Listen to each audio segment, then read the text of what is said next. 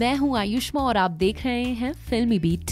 Big boss के नए season का इंतज़ार फैंस बेसब्री से कर रहे हैं। आपको बता दें कि सभी का इंतज़ार जल्द ही खत्म हो जाएगा।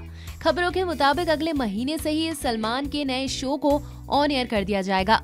इससे पहले मेकर्स इस कोशिश में जुटे हुए हैं कि इस बार शो में ऐसे कंटेस्टेंट्स की एंट्री हो, जो शो को भरपूर मसाला दे सके। ऐसी खबरें हैं कि पम्मी आंटी बनकर लोगों के दिलों पर राज करने वाले सुमेर पसरीचा भी इस बार बिग बॉस के घर में आकर हंगामा करने के लिए तैयार हैं।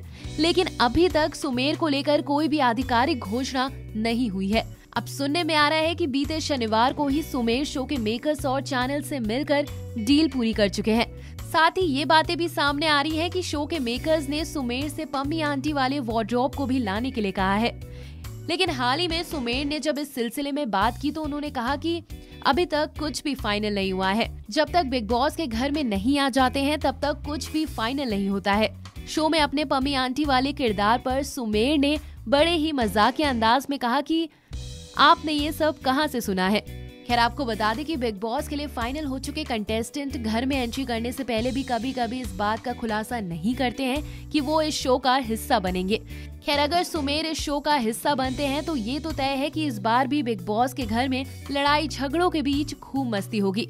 फ़िलहाल इस वीडियो में इतना ही। बिग बॉस बारह से जुड़ी सभी खबरों को जानने के लिए देखते रहिए फिल्मी बीट